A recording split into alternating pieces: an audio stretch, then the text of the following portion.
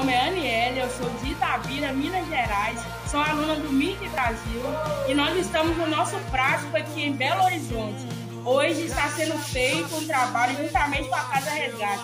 Pela manhã foi feito um trabalho com moradores em situação de rua e agora nós estamos aqui fazendo um mutirão aqui na Casa Resgate, limpeza e muito trabalho por aqui. O grande eu